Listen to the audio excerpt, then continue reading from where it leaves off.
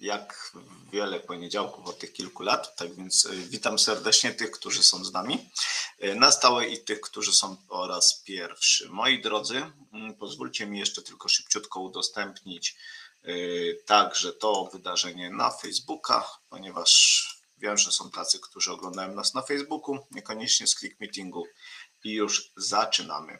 Dzisiaj jestem z Wami sam. Z reguły to jestem tym konferencjerem, y, ale jeżeli chodzi o druk 3D, to wiecie, że mm, to akurat jedna z moich działek, robotyka, druk 3D, y, to jest to, czym ja się zajmuję. Mam nadzieję, że mnie dobrze słychać, bo dzisiaj bez słuchawek, bez mikrofonu. Dlaczego? Dlatego, że będę się troszeczkę odwracał i Wam kilka rzeczy y, będę pokazywał, tak? Więc dawajcie znać, mam Was na podglądzie, będę cały czas miał też podgląd na czat. E, I tak, moi drodzy, post-processing jako, y, jako anglista, tak y, mogę powiedzieć, post-processing, tak po angielsku, słuchajcie, w druku 3D, czyli mój pomysł na to, żeby ten druk 3D i te drukarki 3D połączyły ze sobą trzy przedmioty, informatykę, plastykę i technikę y, w jeden taki, może nie tyle przedmiot, ale słuchajcie, projekt interdyscyplinarny, tak byśmy to mogli nazwać. Co to jest post-processing na sam początek? Post-processing, słuchajcie, to jest taka obróbka po. No i teraz yy, tak, do szkół trafiły drukarki 3D. Macie drukarkę 3D w szkole? Widzieliście, wypakowaliście taką drukarkę 3D? Dajcie mi znać yy, na czacie, bo to jest z tymi drukarkami, to jeszcze różnie bywa. Yy, widziałem, widziałem takie szkoły, gdzie jeszcze nie zostały wypakowane. U mnie została wypakowana, jest używana przez dzieciaki o, nawet drukowaliście wypakowane, świetnie, to bardzo dobrze w ogóle to czytać i, i, i że te drukarki są wypakowane, bo powiem, e, no i super. Czy to będzie Flashford, czy to będzie Banat, czy to będzie Zortrax, one wszystkie e, są na podobnym poziomie. Wyróżniają się bardziej na przykład Flashforge kreatory trójki, które są już drukarkami przemysłowymi, więc są bardziej zaawansowane ale to będzie, może Jolanta powiem tak, bo tu jest, y, Jolanta pisze, że jeszcze nie użyta, może będzie jakiś pomysł na to, żeby ją wreszcie użyć, wykorzystać. E, tak więc słuchajcie, większość tych drukarek y, w laboratoriach przyszłości jest dość zbliżona. do siebie, porównywała je notabene koleżanka Karolina, która prowadziła też webinar o druku 3D. Ja dzisiaj nie będę porównywał drukarek, bo nie o to chodzi, tylko postaram się Wam pokazać moje pomysły na to, co można z tymi wydrukami zrobić. I tak, na pewno już widzieliście, że e, są takie pomysły, że się drukuje różnego rodzaju słówki na prezenty, drukuje się puchary. Ja sam na przykład e, cenowo nie są zbliżone. Znaczy, no tak, różnie to bywa, aczkolwiek e, jeżeli weźmiemy pod uwagę e, to, co pokazywała Karolina, jeszcze taka mała dygresja, czyli Zortaxem 200, którego ja mam w szkole, e, Flashforge Adventure 4, nie trójka, bo trójka jest mniejszą drukarką i o wiele tańszą, teoretycznie. Z praktyką bywa różnie, bo laboratoria przyszłości narzuciły swoje stawki. I weźmiemy sobie Banacha, to one są zbliżone mimo wszystko gdzieś tam parametrami. Ale tak jak mówiłem, nie o tym będziemy rozmawiać, bo tym już zajęła się Karolina. Y, zresztą, jak już macie drukarkę, to tak naprawdę jej nie zmienicie, tylko trzeba pracować nad tym, co jest. Ja mam w szkole Zortraxa M200, w domu mam Adventurera, którego widać tutaj po mojej lewej stronie.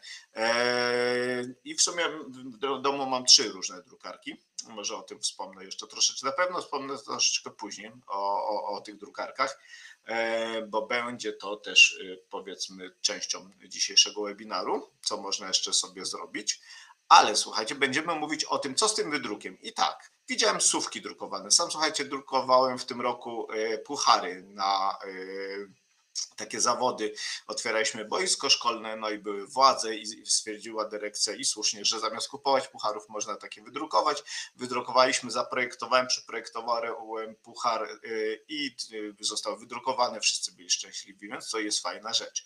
Ale to wszystko i tak samo te moje puchary, które drukowałem, akurat miałem srebrny, filament, e, kończy się, tak jak patrzę, obserwuję internety, na tym, że ta rzecz została wydrukowana, no i powiedzmy, że poszła do jakiegoś tam użytku, prawda? Czyli gdzieś tam trafiła, coś tam spełnia ze sobą e, jakąś funkcję, czy to dekoracyjną, czy, czy jakąś inną, tak? Idą święta, więc wiecie, y, powoli zaczynamy dekorować różne e, elementy na choinkę i tak dalej, i tak dalej.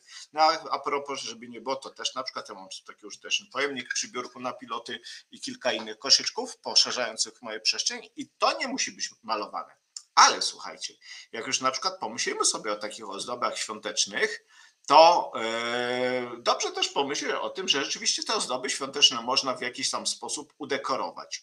Takim najprostszym sposobem, ja na przykład yy, wtedy używam białego filamentu, ale nie musi być to biały, choć u mnie, u mnie to jest głównie biały i używam kleju pokażę Wam ten klej, y, bo mam.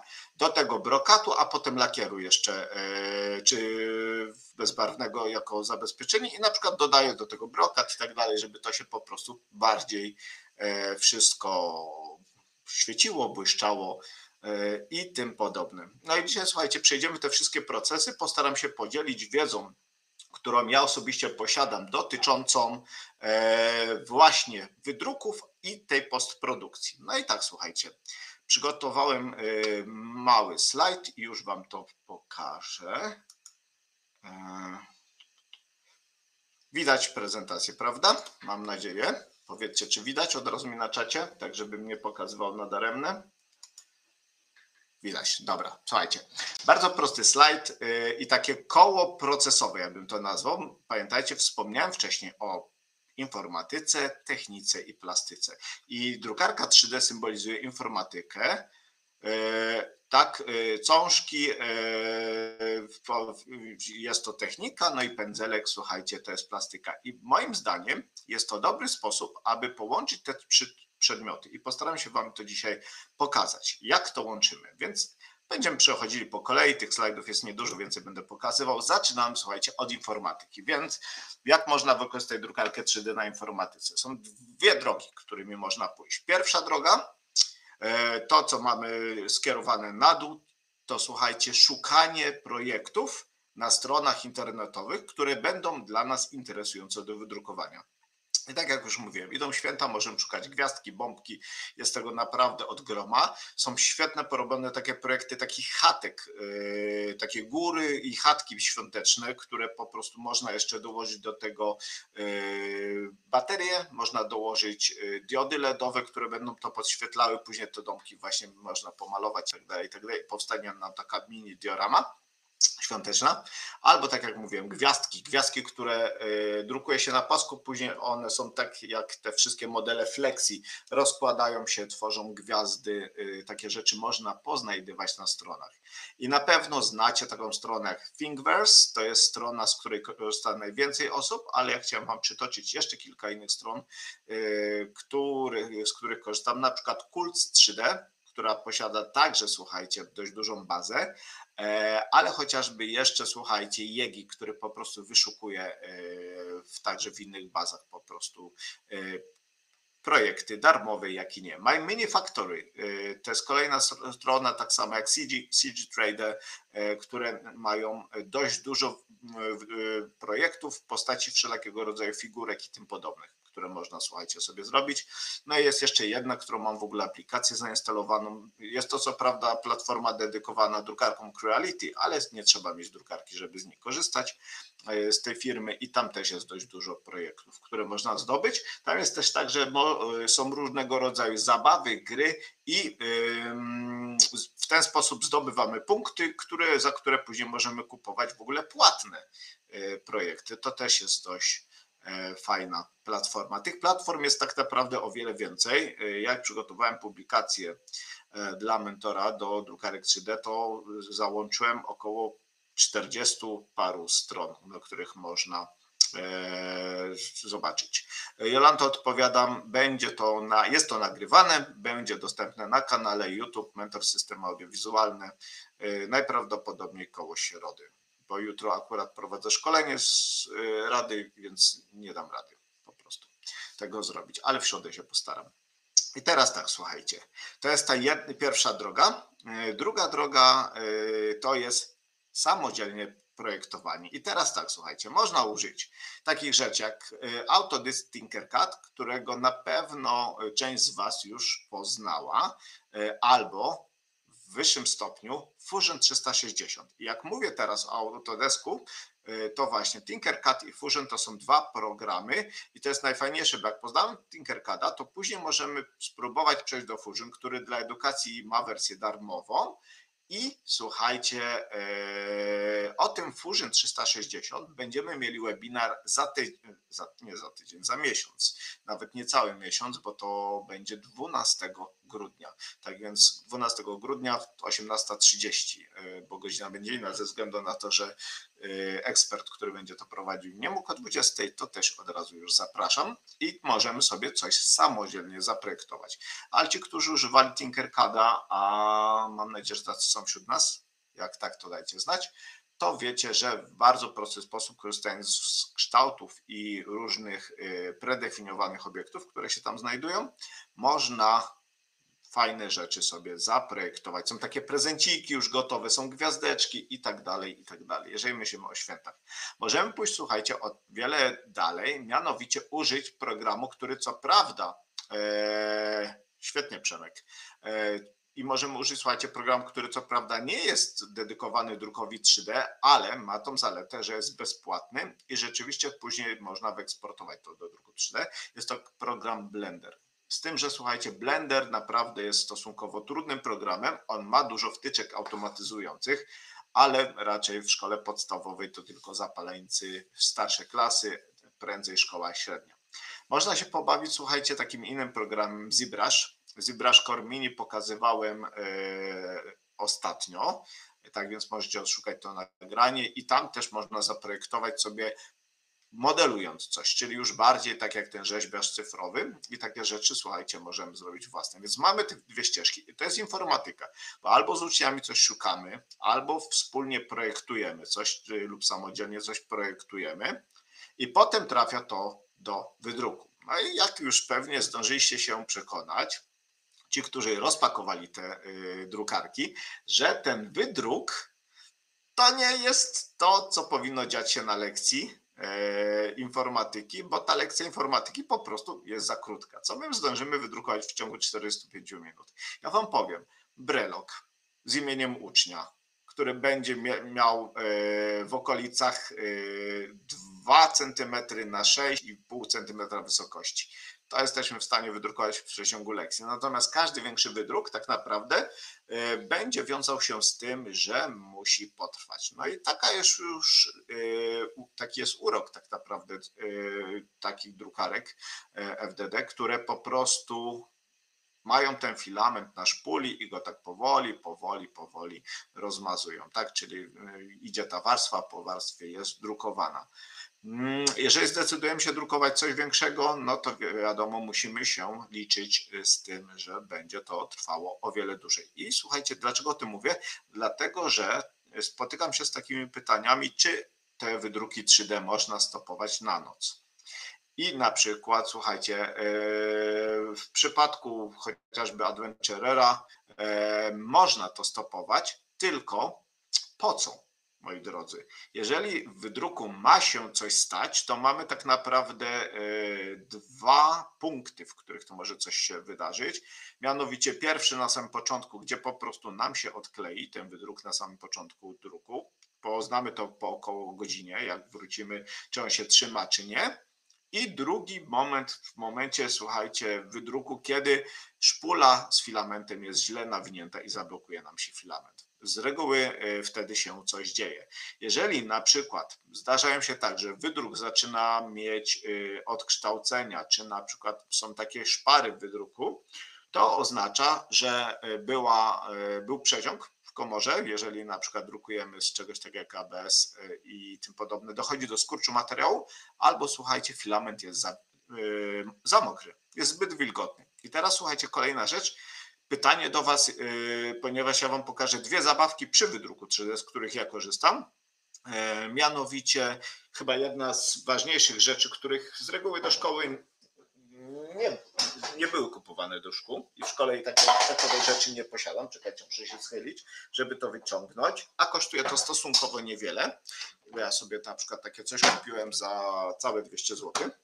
E, I pytanie do Was, uwaga, będzie konkurs, bez nagród, co prawda, bo nie pomyślałem. E, Jak to się nazywa, takie pudełeczko? Kto wie, daje znać w komentarzu. Suszarka, bardzo dobrze, słuchajcie, suszarka do filamentu. No i właśnie, po co ta suszarka do filamentu? Po to, żeby z tego filamentu odciągnąć wilgoć. To jest stosunkowo ważne, jeżeli macie filament na tak zwanym haku y, otwartym, czyli nie jest zamknięty w obudowie, tylko jest na wolnej przestrzeni. Tak się dzieje na przykład w przypadku y, Banacha, y, tak się dzieje w przypadku Zortraxa, że te filamenty są gdzieś tam na wierzchu. No i słuchajcie, niech to stoi gdzieś koło okna, zawilgotnieje i po, po czasie oczywiście, tak? Czy jeżeli dyrekcja będzie oszczędzała teraz w zimie na ogrzewaniu, to wilgoć może wejść po prostu do takiego filamentu i to już sprawi, że te wydruki nasze będą złe, znaczy może złe, mało precyzyjne, bo mogą robić różne bąble, rozwarstwienia. Ja używam jeszcze coś takiego, słuchajcie. To jest bardzo pomocne przy wydruku z innych materiałów niż PLA, bo PLA nie śmierdzi. E, I tu pytanie, ja pokażę do kamerki. Tak wygląda takie maleństwo. Czy ktoś wie, co to jest?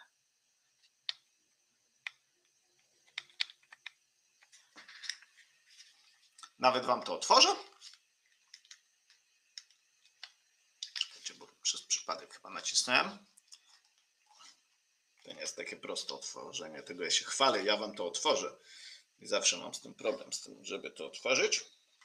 To chyba wam nie otworzę. O, udało się otworzyć. Dobra, ale mi się od razu przykruszyło, jak otwierałem. Chciałem wam to pokazać, słuchajcie.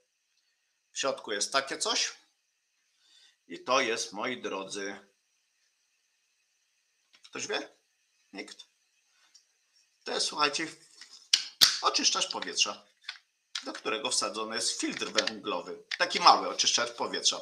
I teraz po co mi ten oczyszczacz powietrza? Ano, słuchajcie, po to, yy, żeby włożyć sobie do y, drukarki i on sobie w tej drukarce na czas wydruku chodzi, nic mi tam żadne zapachy i tak dalej się nie wydobywają, bo ten wkład węglowy, przez który to powietrze jest zasysane po prostu filtruje mi. Jest to szczególnie ważne przy niektórego rodzaju materiałach, ale także przy niektórego rodzaju wydrukach. Dobra, słuchajcie. Wydruk mamy, czy to zaprojektowany własny, czy y, inny, puszczony, zadbane jest o to, żeby filament był suchy, żeby nam nie śmierdziało. Niestety na hałas nie mamy za bardzo, y, nie mamy za bardzo y, tutaj jak poradzić. Można budować samodzielnie na przykład z pudełek i wykleić pudełka matami wygłuszającymi i zakładać to na suszarkę, aczkolwiek y, może wtedy dojść do przegrzania się, bo ta, susza, y, ta drukarka musi gdzieś się wentylować od spodu, więc jest to średnio y, polecany pomysł. I co dalej? Słuchajcie, dalej przechodzimy na drugie zajęcia, wracam slajd, czyli idziemy do techniki. I teraz słuchajcie, na technice zaczyna się zabawa. Pierwsze, co otrzymujecie po wydrukowaniu, jest to wydruk, który może mieć raft, czyli taki specjalną podkładkę spód, żeby on nie oderwał się od y, stołu roboczego i może mieć podpory. Ja pokażę przykład wydruku z podporami. Raft niestety już odpadł dawno temu, więc nie mam akurat teraz nic z raftem. No i teraz słuchajcie, takie podpory musimy w jakiś sposób usunąć. I teraz za- zabawa jest idealna, słuchajcie, na właśnie technikę. I teraz słuchajcie, co możemy sobie wziąć? Przede wszystkim bierzemy narzędzia.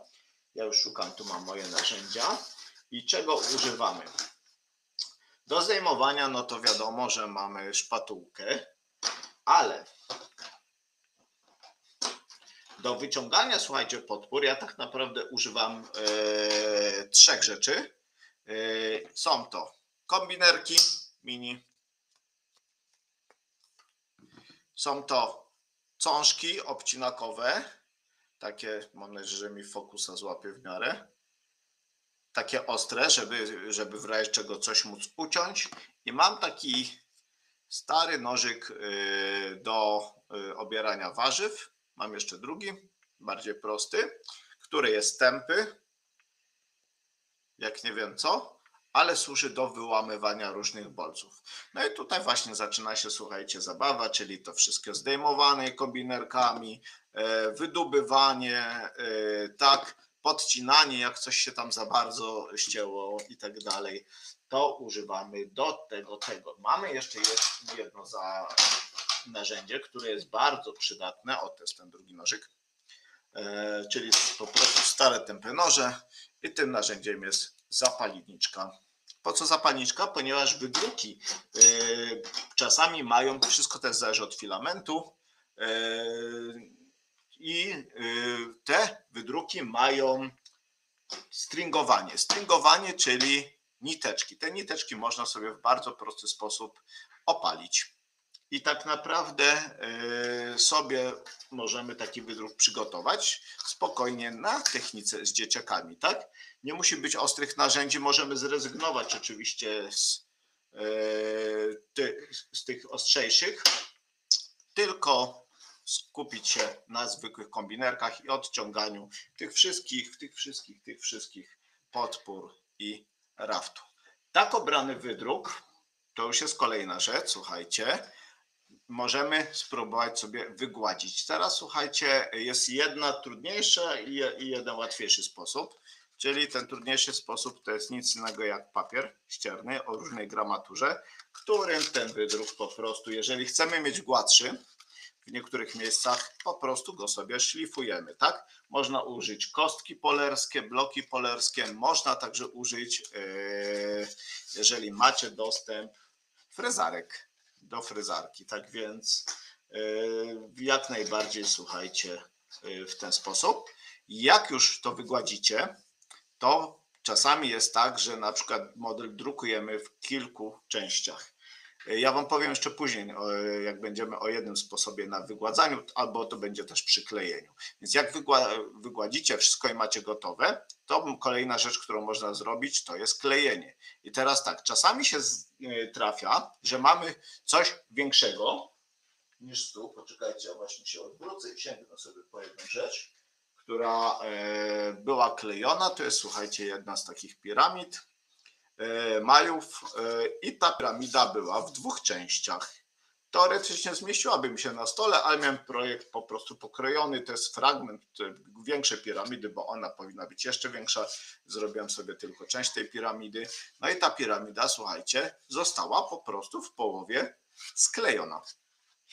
I tutaj dochodzi klejenie. No klejenie też z powodzeniem możemy zrobić na, na plastyce, na technice, Teraz tylko kwestia, słuchajcie, tak naprawdę użycia właściwego kleju. Ostatnio nawet rozmawiałem z kolegą, który yy, drukował sobie model, który składał się z różnych części. Czekajcie, szukam tych klejów. I próbował kleić go kropelką. Ja Wam powiem, że ogólnie kropelki raczej nie polecam, bo ona się do plastiku nie nadaje. Lepiej skorzystać z specjalnych klejów, które są klejami dedykowanymi, między innymi właśnie do klejenia plastiku, albo z uczniami bezpiecznie jest skorzystać z klei, które są łatwo usuwalne, jakby coś nam się stało, z tym, że musimy sobie e, po prostu zabezpieczyć to, żeby nam się ci uczniowie no, nie zakryli w tak zwanym ekspresowym tempie, czyli używać czegoś zwolniejszym. Więc słuchajcie, kropelki, nie? Ja testuję, słuchajcie, kleje, które znalazłem e, w Action i powiem szczerze, że całkiem nieźle klei. Klej do wszystkiego z Action. E, mam też, ale jeszcze nie testowałem, słuchajcie, e, klej PVA, który kupiłem w Tedim od razu będę mówił nazwy sklepu, bo te sklepy y, się, y, no raczej są z reguły w większych miastach, ale mam właśnie, słuchajcie, specjalnie kleje modelarskie, których używam, które były kupione y, i to, o czym mówiłem na samym początku, klej w sprayu. Też kupiony, słuchajcie, w Action sprawdza się nieźle do wydruków, jeżeli właśnie chcemy narzucić jakiś brokat. I takie modele po prostu kleimy. Notabene, jeżeli widzieliście kiedykolwiek makiety robione przez Jacka Kawałka i jego uczniów, to tam też wszystko było drukowane w e, większych takich e, rozmiarów i było po prostu klejone. Ja Wam pokażę jeszcze jedną ciekawostkę, którą, której używam. Mam nadzieję, że no, chyba nie wyłapię. To jest, słuchajcie, e, masa szpachlowa, szpachlówka do modeli z plastiku. Tak więc jeżeli trafi nam się, że gdzieś w naszym wydruku będzie na przykład coś e, się obkurczyło, czy będzie coś nierównego, to właśnie taką masą szpachlową można sobie to e, wyrównać. Ale słuchajcie, nie powiedziałam wam o jednej rzeczy, bo w szkole raczej się tego nie używa. Kleić można również, tak samo jak i wygładzać model, używając, słuchajcie, czegoś, co nazywa się żywicą światło-utwardzalną. I ja, słuchajcie, z takiej żywicy korzystam, e, nie z dziećmi, e, bo z dziećmi musiałbym zakupić jeszcze do tego rękawiczki, maseczki i bardziej zabezpieczyć. Natomiast w domu e, korzystam, jeżeli macie starsze dzieci, to jak najbardziej, z młodszymi nie polecam. I teraz słuchajcie, taką żywicą świetnie się klei. I teraz, drogie panie, jeżeli chodzicie do kosmetyczki i robicie sobie paznokcie y, żelowe, lub wiecie, jak to się robi, to jest to na zbliżonej zasadzie. Czyli słuchajcie, bierzecie taką żywicę, nakładacie. Jeżeli chcemy mieć gładziutki, yy, gładziutki yy, wydruk, to smarujemy sobie pędzelkiem na wydruku, no i musimy tym to czymś utwardzić. I do tego, słuchajcie, wystarczy Wam tak naprawdę poprosić kosmetyczkę, że jak ma już zużytą lampę kosmetyczną, to możecie, słuchajcie, taką lampę sobie od niej po prostu zdobyć ta lampa nadal będzie działać. Tak? U kosmetyczki ona już jest średnio przydatna, bo już są za słabe diody LED, natomiast do utwardzania Wam się przyda i wtedy taką lampą, słuchajcie, kosmetyczną po prostu tą żywicę sobie utwardzacie. I ta żywica naprawdę świetnie klei. U mnie zaczęło się to od tego, że kupiłem kiedyś yy, na AliExpress właśnie podobną żywicę, podobny klej żywicowy, gdzie był w długopisie dioda yy, UV i w kleiło się, wypuszczało się troszeczkę tego kleju, a później tą diodą się świeciło, a później wpadłem na pomysł, że co będę płacił za taki mały długopisik, jak mogę właśnie, słuchajcie, nabyć butelkę, no to akurat litrowa, ale można sobie kupić półlitrowe butelki i wtedy taką żywicą, pędzelkiem to nakładać. I co jest ciekawe, taką żywicę o wiele szybciej wygładzicie yy, papierem ściernym niż sam wydruk plastikowy. Po prostu mniejszym nakładem siły i wszystko będzie fajne, ładne i gładkie. Więc nie dość, że, ty, że wygładzi nam wydruk, to jeszcze może nam skleić, jeżeli mamy coś szczęści. Potem słuchajcie, jest kolejna rzecz jak już mamy ten wydruk wygładzony, pozdejmowane wszystkie stringi, powyciskane, po, po, powyrzucane wszystkie podpory, rafty i tak dalej, i tak dalej. Jeżeli był z kilku części, yy, słuchajcie, to się yy, jak najbardziej wszystko poklejone jest, przygotowane. Czas na tak zwany priming. I teraz słuchajcie, priming to jest nic innego jak nakładanie bazy pod malowanie. I to priming, słuchajcie, i malowanie yy, idzie jako jedno, przy czym priming można zrobić sobie na technice, a malowanie już będzie na plastyce. I teraz, jeżeli chodzi o priming, to mamy dwie drogi. Tańszą i droższą i postaram się Wam pokazać, tylko czekajcie, muszę sięgnąć yy, do tego. Jeżeli chcemy to zrobić bardziej masowo lub po prostu taniej, to znowu, słuchajcie, ulubiony sklep wszystkich, czyli Action, i tam znajdziecie za 11 zł primer w puszce, e, którego możecie używać. Na pewno zapytacie o e, smród, który temu towarzyszy. Tak, wtedy słuchajcie, dobrze sobie e, gdzieś tam jakiś oczyszczacz powietrza skombinować, a jak nie macie oczyszczacza powietrza, to po prostu robimy to przy otwartym oknie. Bierzemy duże pudło kartonowe, stawiamy w tym pudle nasze modele, psikamy, primerem. I teraz tu są różne techniki, można psikać od razu. Ja proponuję tak krótkimi seriami, wtedy będzie mniej yy, rozproszone, mniej śmierdziało I taki model sobie takim primerem psikamy. I ten model po psiknięciu primerem, pokażę Wam na przykładzie dwóch modeli, wygląda następująco. Model, który wcześniej był zielony, zobaczcie, psiknięty primerem, jest gotowy do malowania. I tak samo to, co przed chwilą Wam pokazałem, czyli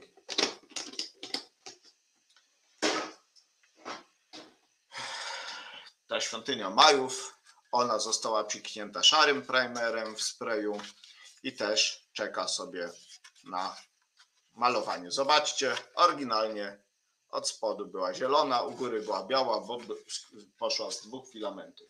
Była zrobiona, tak? Action Primer. Najtańszy sposób 11 zł. Jeżeli jednak macie bogatą szkołę, albo chcecie to zrobić dla siebie, możecie skorzystać z primerów profesjonalnych. I taki primer profesjonalny już nie jest w sprayu, tylko jest w tubce. E, ja używam primera z firmy Vallejo, to jest hiszpańska firma i e, kryje świetnie, natomiast do dużych rzeczy, tak jak chociażby do takich tych, no to koszt jest nieporównywalnie droższy, bo tam to kosztuje 11 zł, to kosztuje 40 zł. I e, średnio opłacalny tak naprawdę z klasą, więc polecam jednak e, tamtym. I teraz tak, moi drodzy, jak już wszystko sobie wypsikaliśmy, a jeszcze ten primer musi mieć sprzęt, czyli musi mieć airbrusha. Jak już wszystko sobie wypsikaliśmy, to słuchajcie, pora będzie na malowanie. No i tu zaczyna się cała zabawa, czyli możemy przejść do trzeciego przedmiotu, jakim jest plastyka.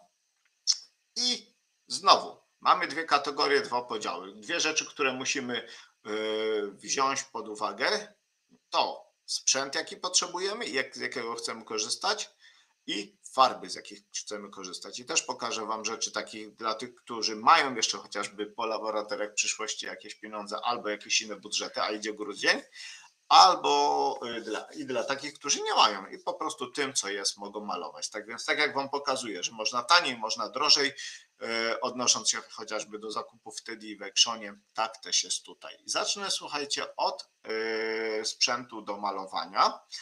Yy, I tak, możemy korzystać z tego, z czego raczej korzystają dzieciaki na zajęciach, czyli ze zwykłych pędzelków, zwykłych paletek do malowania, i zwykłych farbek. I teraz najważniejsza rzecz. Farbki, o których za chwilę powiem, yy, o różnych firmach, są to farby akrylowe, bo akrylowymi, akrylami najlepiej się maluje. Możemy jednak, słuchajcie, skorzystać z bardziej zaawansowanego sprzętu.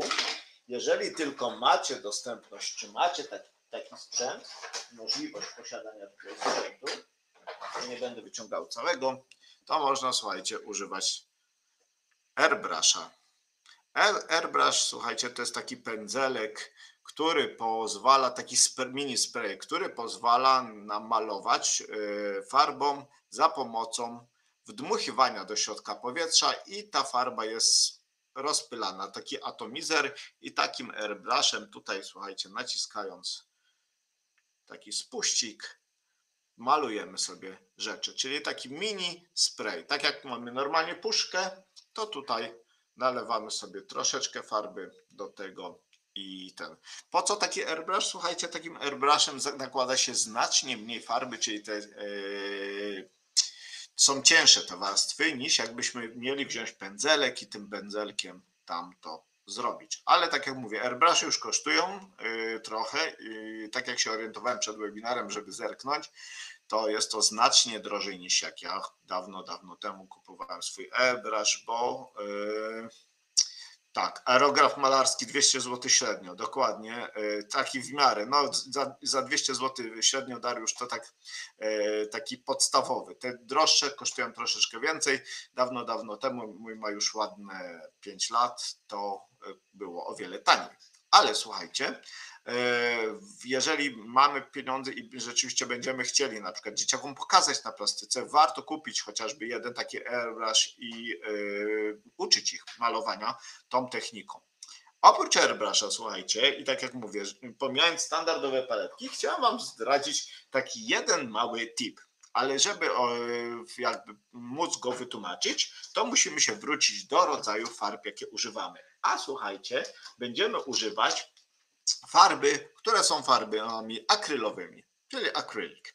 I teraz tak, ja nie jestem z wykształcenia plastyk, plastykiem, więc y, jeżeli się mylę, to mnie poprawcie y, co do innych farb, natomiast akrylówki wysychają w miarę szybko. To jest tak 30 minut malowania i naprawdę ta farba wysycha, chyba że klapniemy takiego dużego kleksa, no ale to żeby nas było stać, to musielibyśmy kupować same takie wielkie tuby jak tutaj 75. Więc słuchajcie, farby akrylowe normalnie, jeżeli weźmiemy ją na taką paletkę do malowania, to nam dość szybko będą wysychać. I kolejna rzecz, farby akrylowe są różne. Niektóre są bardzo, bardzo gęste, y, tak jak tutaj. Postaram się pokazać. Jest naprawdę bardzo, bardzo gęsta ta farba. Inne są wodniste i jak Wam y, wskazywałem, słuchajcie, polecałem rzeczy z Actiona. Tak, też tutaj muszę jednej rzeczy nie polecić. Mianowicie, słuchajcie, y, testując różne farby, e, najbardziej zawiodłem się właśnie, słuchajcie, na farbach e, takich małych e, w Action. Jeżeli takie traficie farby, odradzam, szukajcie czegoś innego. Później Wam polecę inne fajne farby w zamian za ten. Ale te z Actiona naprawdę są dość słabe, są rozwodnione, nie trzymają pigmentu tak jak powinny trzymać. No i wracając do tych farb. Mamy te farby naprawdę gęste, one dość szybko wysychają, trzeba jakoś temu zaradzić. I ja znalazłem na to sposób, może nie tyle znalazłem, co słuchajcie, szukając sposobu odkryłem ten sposób. Mianowicie nazywa się to wet palette, czyli mokra paleta. Dajcie znać, czy słyszeliście o czymś takim. Ja sobie wezmę łyka.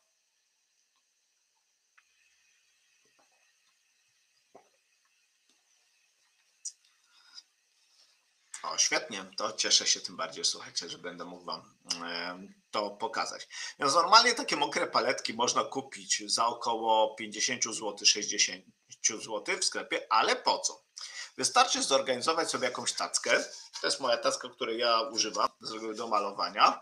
E, ale słuchajcie, to może być tacka, jakaś podkładka, e, wieczko od czegoś, które pozwoli nam na położenie na nim ręcznika papierowego, na który to ręcznik papierowy e, położymy jeszcze, możemy, ale nie musimy, bo to będzie dawało nam inny efekt, położyć papier do pieczenia. I moi drodzy, robimy tak. Bierzemy tackę, nalewamy do niej wody, albo kładziemy ręcznik na tą wodę, albo kładziemy ręcznik i zalewamy ręcznik wodą, tak żeby nasiąkł tą wodą i na to kładziemy kawałek papieru E, do e, pieczenia. I na taką mokrą paletkę dopiero, słuchajcie, bierzemy farbkę akrylową i wyciskamy, robimy jakiegoś e, kleksa. Tak więc, moi drodzy, w ten sposób ta wilgoć, która będzie pod, utrzyma nam cały czas mokrą farbę. To jest jedna rzecz. Ale jest jeszcze druga rzecz ważniejsza, mianowicie tak zwane cieniowanie farb. Nie wiem, czy słyszeliście, czy znacie e, ten koncept, ponieważ farba, jak ją wyciskamy, niektóre farby naprawdę są napigmentowane i jak zaczniemy malować, to ten kolor będzie taki gruby i od razu będzie bardzo krył. Także za pierwszą jedna, dwie warstwy i on już pokryje, ale będzie wyglądał bardzo sztucznie i będzie takim grubym kolorem, naprawdę tą grubą warstwą nałożoną. I zaufajcie mi, nie zawsze to dobrze wychodzi. Jeżeli chcemy nasz kolor troszeczkę E, wycieniować. Tak to się po angielsku nazywa się to thinning. To właśnie na takiej mokrej paletce, słuchajcie, weźmiemy pędzelek. Ja teraz postaram się Wam to pokazać na sucho. Czyli, o, może nie ten pędzelek, bo to jest ścięty zupełnie do czegoś innego. Weźmiemy pędzelek, słuchajcie, i tą farbkę po prostu będziemy tak delikatnie sobie rozmazywać, tak? A może pokażę to. Nie mam co prawda tu wody, ale poczekajcie. Spróbuję to pokazać tak po prostu bez wody. Czyli bierzemy sobie tego kleksika, nie wiem czy widać, i po prostu, a poczekajcie.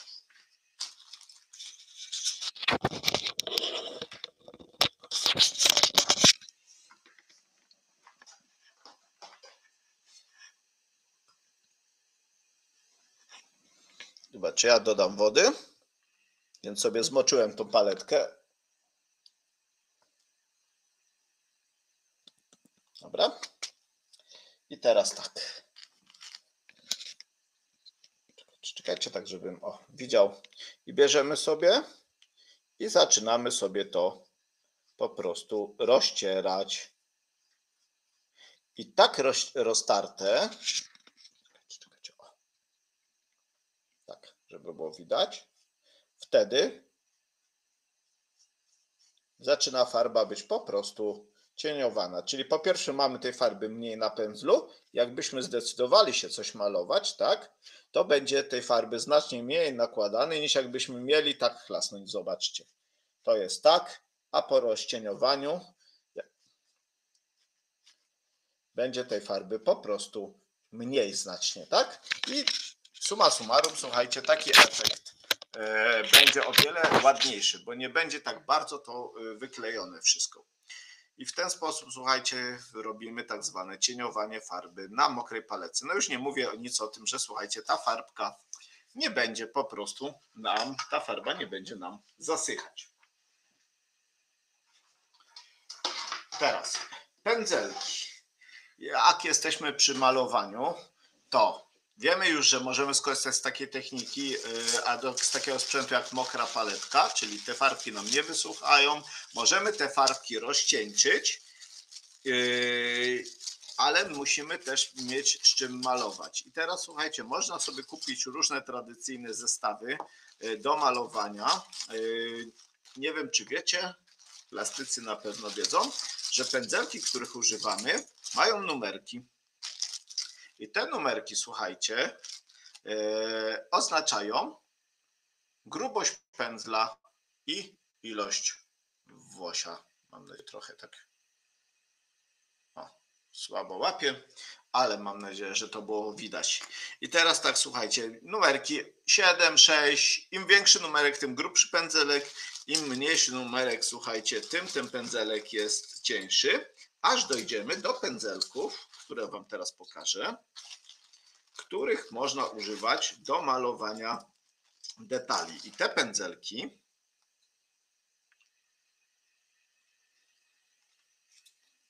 tak pościągam końcówki, żeby Wam pokazać.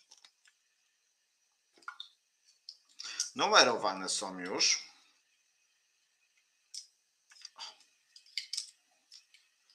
W taki dziwny sposób, jak, no tu mam, patrząc od mojej lewej, jedynka, 0, 0, 0, 0, 0, 0 i spróbuję to pokazać. Mam nadzieję, że mi aparat wyłapał. Zobaczcie, jakie cieniutkie mają końcówki.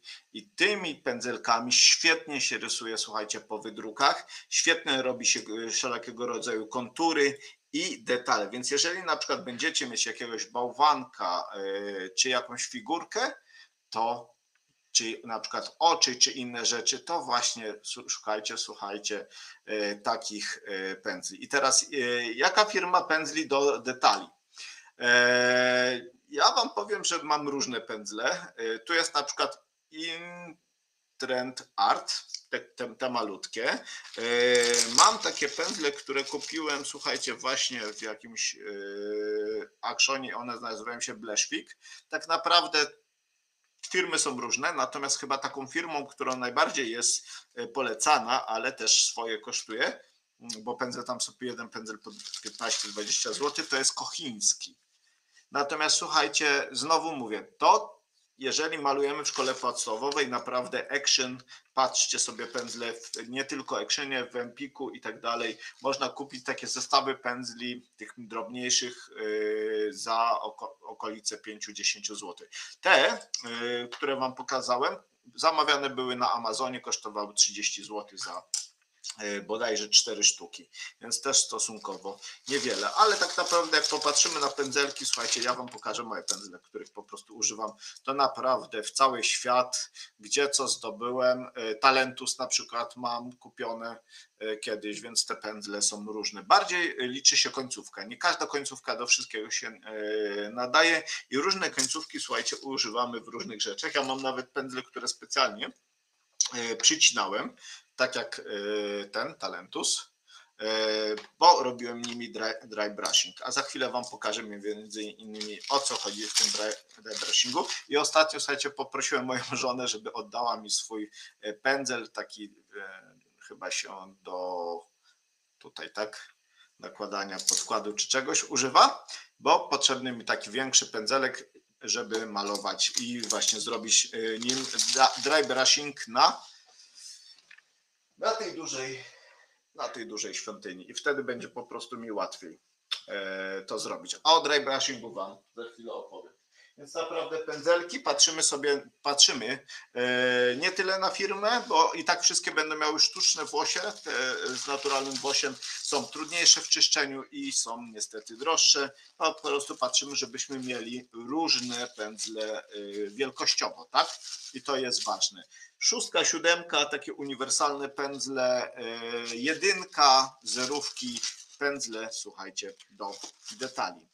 Odkładam pędzle na bok po to, żeby, słuchajcie, e, teraz pokazać Wam na przykładzie, a może, a może nie, weźmiemy któryś z pędzli, e, na przykładzie tego, jak jeszcze używać i jak malować. Mówiłem Wam już o cieniowaniu farb, to jest ważne, Yy, czyli korzystanie z wody, korzystanie z rozcieńczania tego. Yy, Inną techniką, słuchajcie, będzie tak zwany dry brushing. I teraz dry brushing to jest technika, która polega na tym, że bierzemy sobie tej farby. Spróbuję, wiecie co? Spróbuję użyć do tego jakiejś yy, ciemnej farby.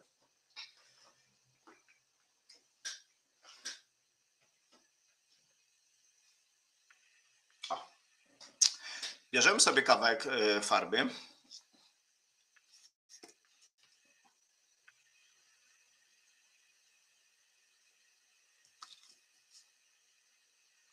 Zaraz Wam pokażę kamerkę, tylko chciałem sobie wycisnąć.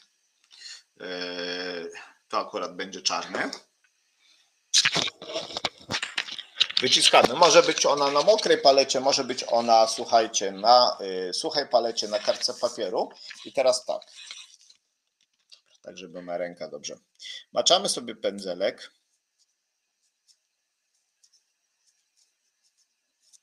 I zaczynamy powoli rozcieranie tej farby, tylko że, czekajcie, muszę to tak złapać, rozcieramy tak, żeby ona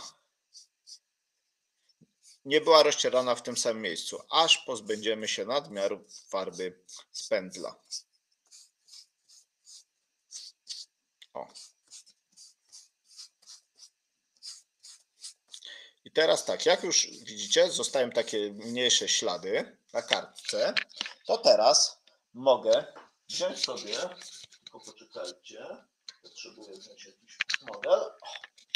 Potrzebuję wziąć sobie jakiś model. Ja tu mam, słuchajcie, taki model, taki słupek, coś w postaci kolumny. Yy, I teraz tak, zobaczymy, czy mi się uda. Trzymając kamerę i trzymając słupek, chyba że nie, tak za chwilę zrobimy. Zobaczymy, czy mi się uda. Spróbuję Wam pokazać, na czym polega dry brushing. Dry brushing polega teraz na tym, że ja tym suchym pędzelkiem z tą farbą będę, yy, nie, chyba muszę jednak wziąć tą kamerę tutaj, będę po prostu próbował to pomalować. Ale widzę, że nie utrzymam tego tak, to spróbuję zrobić tak.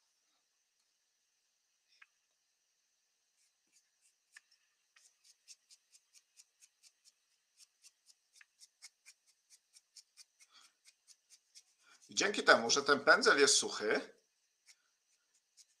uzyskam za chwilę, za- zaraz zobaczycie, taki fajny efekt. Tej farby nakładane stosunkowo niewiele. Dzięki temu zachowuję fakturę wydruku.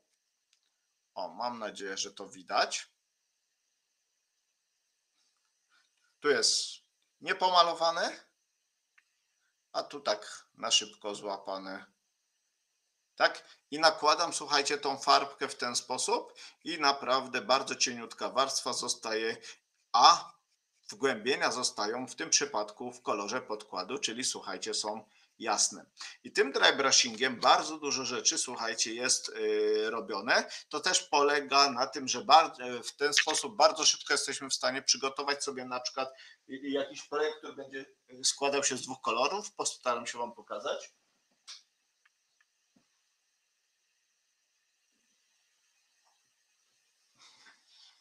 Tu mam na przykład, słuchajcie, e, takiego. E,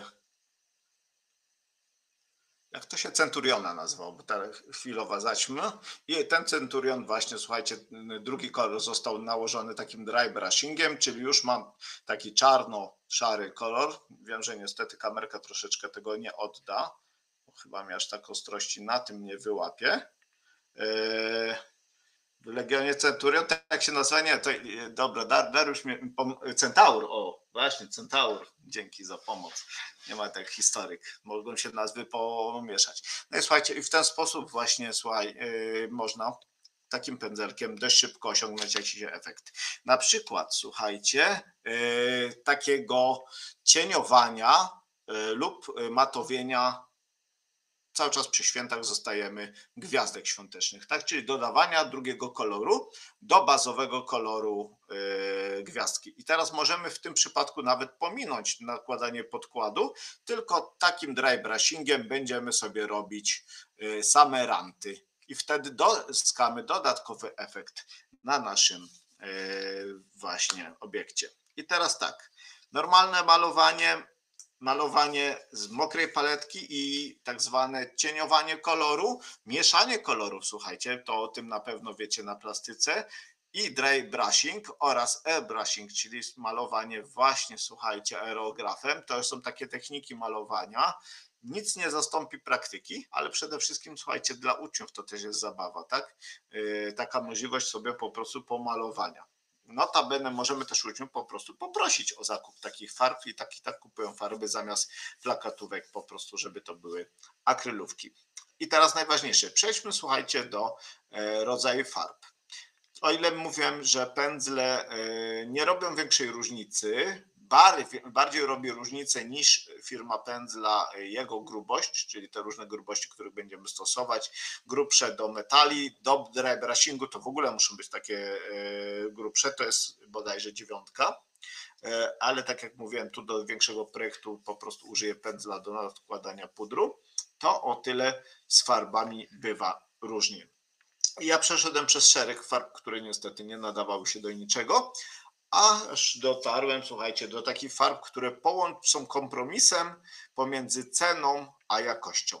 I widzicie trzy nazwy, i teraz zacznę od tych farb, których używam, a są farbami droższymi. Są to typowo farby modelarskie, i te farby, słuchajcie, nazywają się Vallejo.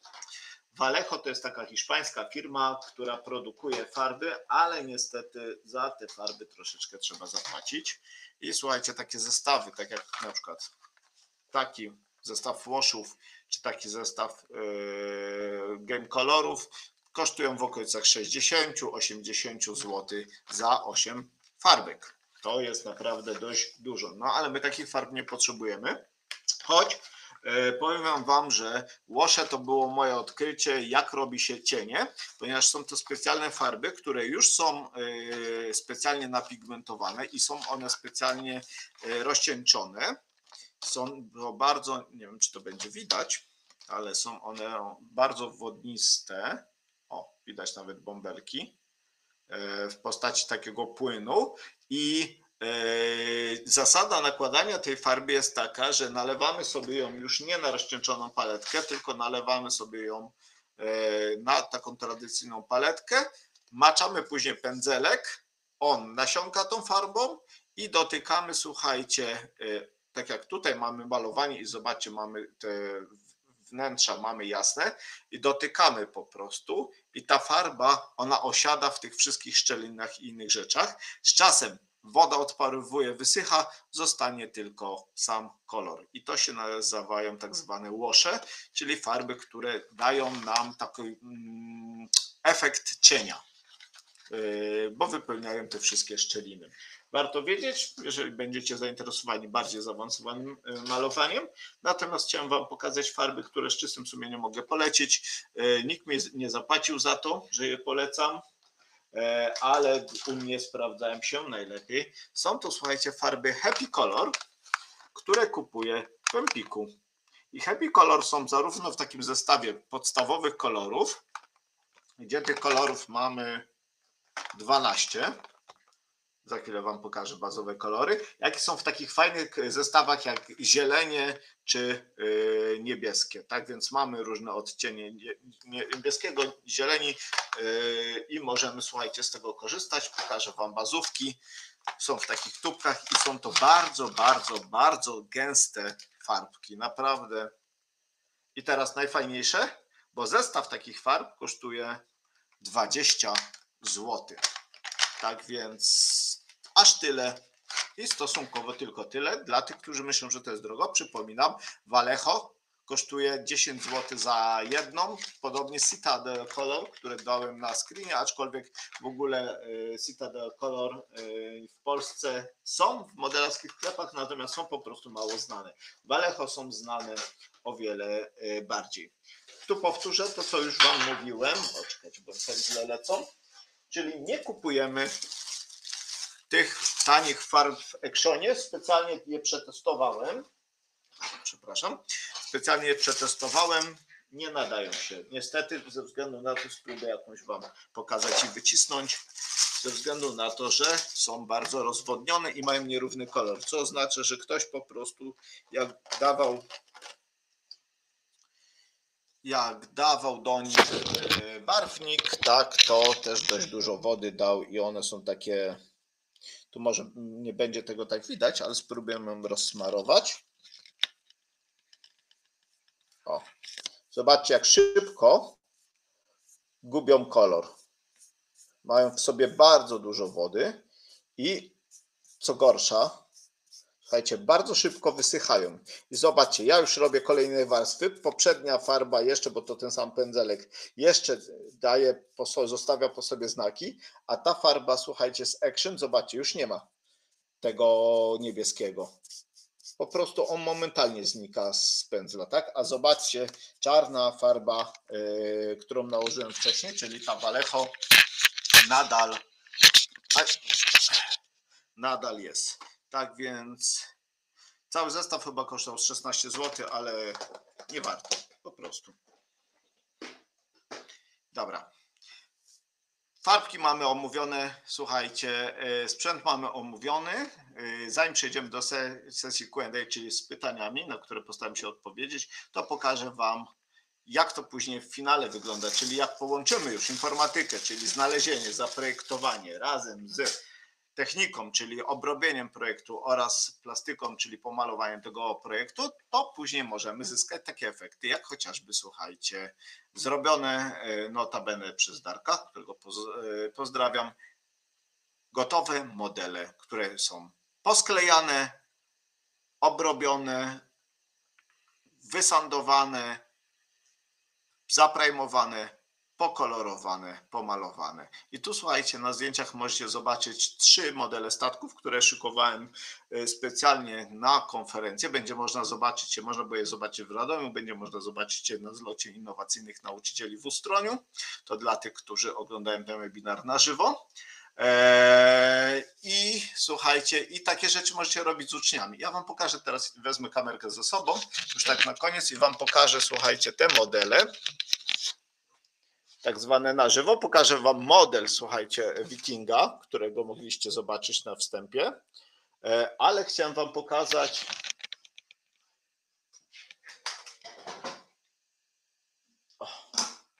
Kolejny, kolejny statek, słuchajcie, ale chciałem Wam pokazać jeszcze jedną rzecz, rzecz, którą jestem w trakcie robienia, mianowicie ee, dioramę.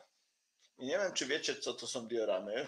Moja diorama to taka trochę e, diorama połączona z takim polem do gry, e, do gier, do, do gier mm, nazwijmy to będą takie gry planszowo D&D. E, Słuchajcie, i postanowiłem odtworzyć coś poinspirowanego starożytnym Rzymem oraz, słuchajcie, świątyniami Mai. I powstaje coś, co chciałbym sam robić, będąc dzieckiem e, w szkole podstawowej. Powstaje, słuchajcie, taka duża diorama, taka plansza, i teraz zabieram Was e, ze sobą do tyłu. Patrzę sobie, czy to widać. Mam nadzieję, że tak. Postaram się wyprostować. I teraz tak, to jest świątynia. Oczywiście pokazuję ją, ponieważ nie jest jeszcze skończona. To wszystko będzie malowane. Tu jest świątynia razem z prowadzoną drogą. Mamy, zobaczcie, wydrukowane ruiny. Mamy wydrukowany akwedukt, który prowadzi, słuchajcie, tutaj jest przerwany i tutaj tu jest woda, która została zrobiona z kleju PVA. Akwedukt dochodzi nam do różnego rodzaju ruin i tu mamy także drzewa, postacie. I teraz tak szybciutko, słuchajcie, wracam i Wam opowiem, bo tu mamy połączone właśnie te trzy przedmioty, czyli zarówno informatyka, bo to trzeba było poszukać w internecie, wydrukować. Te wydruki trzeba było obczyścić, oczywiście, słuchajcie, pomalować. Potem doszło klejenie, czyli tak jak widzicie, akwedukt, on był sklejany razem. Akwedukt jest już akurat pomalowany i teraz y, wodę symulowałem za pomocą y, kleju. PVA, taki wiecie, jak się w Castoramie kupuje. Mm, Gdzieś tam ten klej mam, ale chyba on był za duży.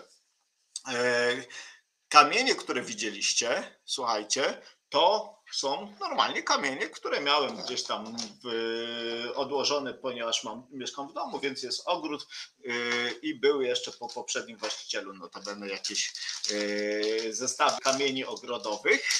Ziemię, którą widzieliście, słuchajcie, powstała z czegoś innego, yy, mianowicie z gliny, która wysycha. Pod, yy, tak, tak zwana masa glina rzeźbiarska. To akurat mam kupioną w Empiku, ale korzystałem do tego projektu kupiony z Action bodajże 7 zł. E, Do tego, słuchajcie, no ja w tym przypadku użyłem e, gotowych projektów z internetu, drukowanych na drukarce FDM, a e, te wszystkie ludziki, które widzieliście, słuchajcie, to tu już muszę je przyznać, ponieważ mam jeszcze drugą drukarkę, to wam pokażę tą drukarkę. I to jest drukarka, słuchajcie, żywiczna, której bardzo żałuję, że, nie, że takie drukarki nie mogły spełnić specyfikacji i nie ma ich w szkół, w szkołach, ponieważ słuchajcie, takie dru, wydruki właśnie tych mniejszych elementów na drukarkach żywicznych to jest dopiero y, ekstra sprawa, gdzie te wszystkie detale mogą być zachowane.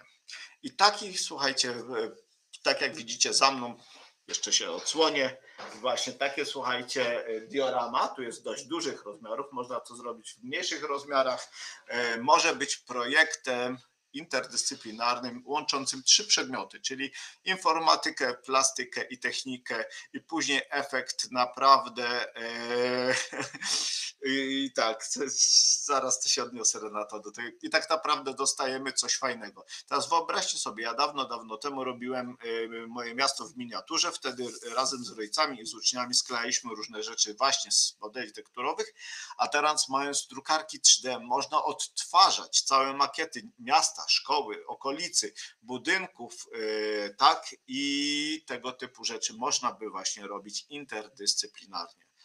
Mam e, nadzieję, że w ten sposób choć troszeczkę Was zainspiruję do tego, żeby podejść do tego wydruku 3D troszeczkę inaczej. To są rzeczy, które ja przynajmniej, e, ponieważ ja uczę w szkole angielskiego i robotyki, więc ja nie za bardzo mogę sobie pozwolić na robienie takich rzeczy w szkole. E, Tym bardziej, że e, tej robotyki mam raz na dwa tygodnie z grupą klasy dzielone, więc naprawdę to by się ten pomieszało, ale wziąć sobie taką jedną klasę, dogadać się z innymi i zrobić taki projekt, gdzie po, zaprojektujecie budynek szkoły, zrobicie całe otoczenie, tak? Słuchajcie, naprawdę w modelarskich można kupić cudawianki, są drzewka całe, y, trawka magnet, genetyczna i inne rzeczy. I taką makietę robimy, później stawiamy, słuchajcie, do oglądania dla gości w szkole. Jest to naprawdę super sprawa. A teraz yy, idąc ku końcowi, to ja postaram się za chwilę udostępnić Wam link do yy, certyfikatu za dzisiaj. No i czekam, jeżeli macie jakiekolwiek pytania dotyczące tego, co kupić, yy, co, co zrobić, jakie jeszcze mogę rzeczy podpowiedzieć, mogę się podzielić, to śmiało słuchajcie, pytajcie. Ja tylko dodam, że jeżeli szukacie szkolenia do szkoły swojej z druku 3D, E, czy innych tematów podobnych, słuchajcie, do, które pokrywałem laboratoria przyszłości, to zachęcam do yy, zakupu takiego szkolenia w Mentor System Audiowizualny. Wtedy ja, kolega Łukasz, czy chociażby Darek, jeżeli chodzi o foto, wideo, możemy do Was przyjechać do szkoły, pokazać te wszystkie rzeczy, przeszkolić Was chociażby z projektowania, drukowania, czy wszystkiego, co tam sobie zażyczycie. A jeżeli macie teraz pytania, to czekam na te pytania. Ja tu sobie zobaczę. Renata mówi, już wiadomo, czemu się pomylił Centurion zamiast Centaura. No tak właśnie, tak to jest. Czasami te smaczki językowe gdzieś tak jak człowiek szybko próbuje sobie sięgnąć do pamięci, jak to się nazywał ten facet z kuniem, to tak to bywa.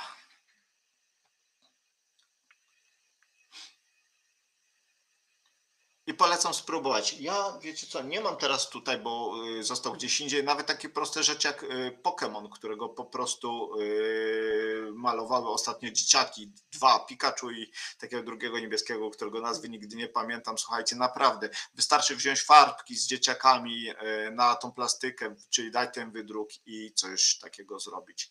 I od razu mówię, słuchajcie, ja maluję takie rzeczy i to jest też świetna rzecz, po pierwsze dla dzieciaków wyciszająca, bo mi pozwala na przykład takie malowanie odpocząć od komputera, ale także motoryka mała tak, bo jednak z tym pędzlem trzeba tam operować, a jak się weźmie taką 000 i te oczy, żeby na przykład namalować, czy jakiś taki detal, tak jak tutaj na tych statkach wikingów mamy te zdobienia, tak, naprawdę słuchajcie, dla dzieciaków yy, świetna rzecz, tak, a jak jeszcze później mogą sobie na przykład takiego Pokemona, czy taki brylok pomalowany, czy coś innego, czy bombkę, ozdoby zabrać do domu, to już w ogóle super. I wreszcie ta drukarka moim zdaniem zaczyna wtedy spełniać właściwą funkcję, tak? Bo chwilowo to jest tak, że wszyscy jesteśmy zachwyceni, drukarki w szkole y, są świetne, każdy drukuje różne rzeczy, ale warto już pomyśleć o tym, co dalej, tak? I stąd mój pomysł na takie właśnie chociażby malowane wydruki, czy dioramy, które naprawdę, słuchajcie, są świetne. A na zachodzie dioramy są dość popularne, bo jest to dość duży rynek modelarski. Dobra, jeszcze czekam, może ktoś będzie o coś pytał, a w międzyczasie słuchajcie, standardowo biorę się za swoją robotę, czyli ogłoszenia y, już w tą środę, czyli za dwa dni, słuchajcie, dość nietypowy webinar, bo jest to środa, godzina 20, będzie z nami doktor Maciej Dębski i zajmiemy się takim fajnym tematem na zamówienie, czym jest higiena cyfrowa i w jaki sposób właściwie o nią dbać. Na pewno e, słuchajcie, macie tak, że dzieciaki siedzą na telefonach, i to często bez limitu, to być może warto zajrzeć, ponieważ doktor Dębski może Wam coś ciekawego podpowiedzieć. Ale także w szkole, gdzie mamy tyle tego sprzętu, jak to cyfrowej higieny przestrzegać. Tak więc zapraszam Was już w środę o 20. A tymczasem słuchajcie, e, kończąc taką myślą, e, przed nami daleka droga edukacyjna i tak mam nadzieję, że te zmiany w szkole nie tylko będą e, dotyczyły sprzętu, ale też naszego podejścia do tego, jak chociażby, że nie każdy sobie rzepkę skrobie, tylko żeby rzeczywiście łączyć takie rzeczy, żeby to wykorzystywać do czegoś takiego. A wiadomo, słuchajcie, musiałem dodać, bo jak sprzęt, to tylko od mentora mam e, od lat chociażby monitor e, czy inne rzeczy, nic się nie psuje, a jak się coś popsuje, to serwis jest po prostu świetny. Tak więc bardzo Wam dziękuję za dzisiaj. Życzę Wam tego, żeby te drukarki służyły Wam długo, długo, długo, żeby się nic tam nie rwało, nie zacinało i żebyście mogli mi się pochwalić za jakiś czas, słuchajcie, właśnie takimi malunkami, czy chociażby kolorowe bryloki, bo bryloki u mnie dzieciaki malowały swoje w domu po tym, jak dostały, czy na przykład zrobicie przepiękną e, dioramę. Ewa pytasz, czy ZBrush jest darmowy. I tak, i nie. Ponieważ ZBrush sam w sobie jest dość drogim programem, ponieważ jest używany przez profesjonalistów, ale ty nie potrzebujesz takiego ZBrusha, ty potrzebujesz ZBrush Core Mini. I ten ZBrush Core Mini jest darmowy, można go pobrać ze strony ZBrusha, wystarczy podać maila i na maila dostaje się yy, wtedy linka do pobrania. Ja takiego ZBrusha Core Mini mam, korzystam, yy, naprawdę daje sporo funkcji, można sobie po prostu wtedy, jeżeli projekt ma być bardziej skomplikowany, to każdą rzecz typu głowa, tułowie yy, i tak dalej osobno po prostu wymodelować, później wrzucić do Tinkercada i tam połączyć. Ale do prostych rzeczy bazujących albo na kuli, albo na bloku yy, wystarcza. Fajnie się robi Pokémony, bo mają takie specjalne funkcje, gdzie są różne oczy, uszy i tak dalej. I dzieciaki mogą po prostu własnego stworka zrobić. Jeżeli jeszcze jakieś pytanie, to śmiało zadawajcie, a jeżeli nie, to bardzo Wam dziękuję za dzisiaj i mam nadzieję, widzimy się w środę na, na tej, yy, słuchajcie, higienie cyfrowej, którą polecam, bo sam z zaciekawieniem będę chętnie słuchał Macieja.